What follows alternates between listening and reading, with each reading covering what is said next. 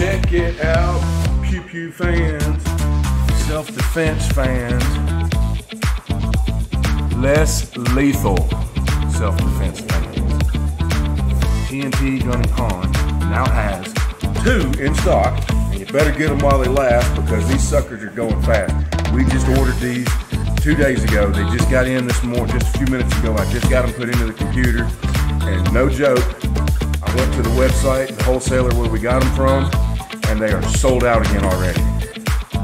They called us Monday, said, We got 40 of them in. Do you want some? TJ said, Get three. So we ordered three of them. One of them is sold already before I even got them out on the shelf, and they're already sold out again. So if you want one of these, you better jump on it now. And before I even show you what this is, to answer one of your next questions, yes, yes, yes, felons can own these. Byrna Technologies SD launcher, non-lethal protection. Check this out. So I'm just gonna slip this paper cover off real quick. Got a whole bunch of information on the back here. Okay, this is the kinetic ball kit. Okay, this thing is pretty cool. This is a Byrna. Comes with two magazines. Has a safety. Here's your second mag. Comes with two of these little CO2 cartridges. It does take a specific CO2 cartridge now. I'll go ahead and tell you that. It takes a specific one.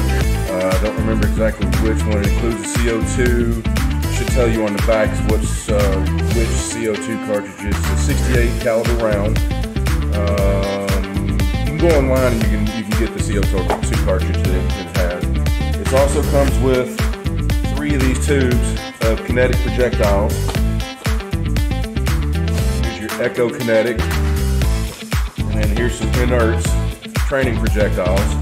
Uh, you do have to activate it by shooting the first round, but this is non-lethal self-defense, and you can get pepper ball, uh, powdered pepper ball projectiles for this thing. And from what I understand, them powdered pepper balls are pretty nasty. Uh, you're gonna be itching and a scritching and a burning and a and a and a hurting for a while. So. Um, those of you who don't want to pew pew with the lead projectiles, but you still want some self-defense, non-lethal self-defense right here, Byrna Technologies. Come and get them while they last. We got two in stock that comes with this nice carry case. Come and check them out. TNT Gun Pawn, 219 Lane Parkway, Shelbyville, Tennessee. Pew.